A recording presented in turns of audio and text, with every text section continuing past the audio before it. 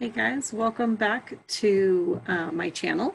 Um, I'm Alysia Lyons and I have been unpacking uh, the Mom Guilt Toolbox, um, the first of which is generosity, uh, being generous, generous with your love, self-care, and time.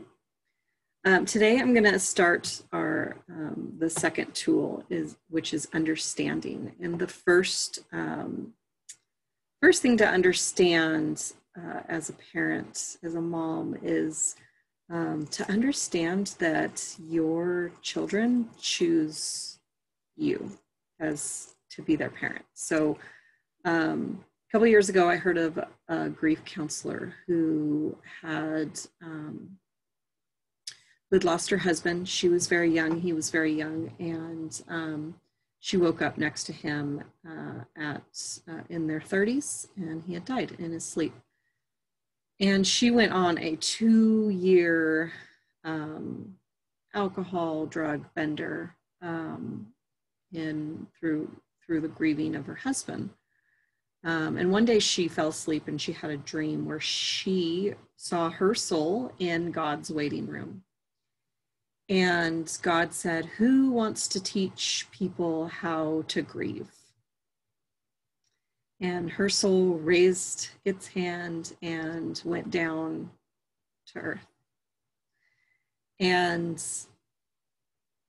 then God said, Who wants to teach her how to grieve?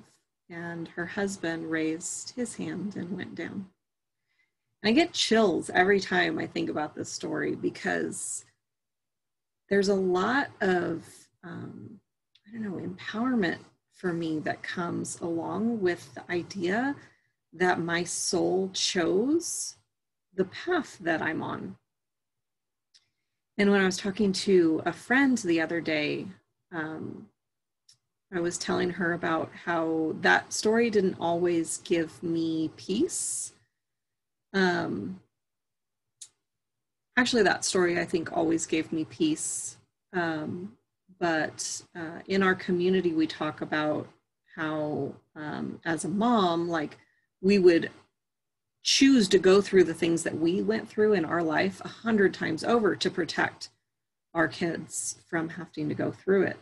Um, but in my case you know i didn't have this experience of um, being uh, inappropriately touched, uh, and um, and my son did, um, which is is uh, the if you're if you haven't watched my what is mom guilt video, um, I kind of go into a lot of detail about about that experience and how I got to um, where um, where I am today, and where the mom guilt toolbox came in and everything, and so. Since I had not gone through it and he did, there was there was a lot of guilt around just that fact um, because I would have gone through it a hundred times over so that he didn't have to.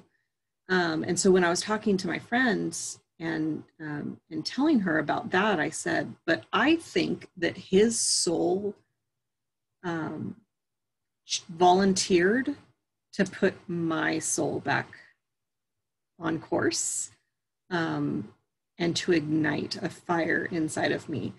Um, he, in once I thought about that and made that connection, there was a whole shift that I felt inside me that um, that's not the only time that he, that him being my son has been a course cre- uh, correction for me. Um, so anyway the understanding that our children um, that they choose us as parents there's something that they're supposed to learn from us. Um, or even in this case which is something i hadn't thought of when i wrote the blog about this um, there's something that they're supposed to do in our lives. And when we understand that there's a higher wisdom, a higher power that that understands all of this, I think it gives us peace for the explanation of what goes on in our lives, like the things that happen to us, the things that happen to them. Um, when you have this kind of understanding um, about, you know, our souls choosing the paths, the things that we end up beating ourselves up for are um, it's it's it's unnecessary because we can learn from our mistakes. They can learn from our mistakes. Um, we can forgive ourselves for those mistakes because they're really not mistakes. Um, one of the things that we love to do is we love to romanticize the past um, so one example that uh, my brother and I were talking about recently was, um, you know, my dad had the opportunity to uh, be a pastor on the coast. And he was also offered a job um, to be a pastor in the town where my mom lived. So um, we grew up where my, my mom and dad lived about an hour apart. Um, my dad would pick us up on Friday and bring us home uh, to his house, and then my mom would pick us up from his house on Sunday, and we would go home. So uh, when my brother and I were talking about, oh, he should have gone to the coast because our life would have been so much better um, because we would have lived on the coast for the you know latter half of our childhood. And i thought yeah like we could have like it could have been this beautiful romantic picture of living on the coast but more than likely my other brother might probably wouldn't have met his wife.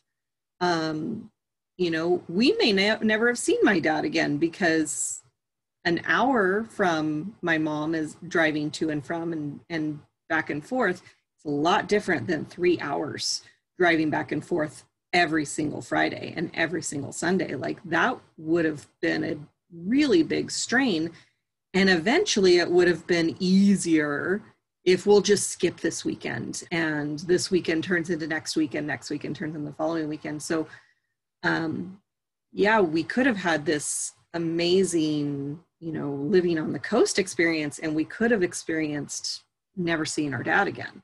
Um, so keep that in mind when when you look at the past and think, oh, I should have done X, Y, Z. Um, because um, one of the things that I've felt guilty about is um, splitting up from my son's dad. And had I not, um, like, I mean, there's the obvious one of if I hadn't married him, then I wouldn't have my son.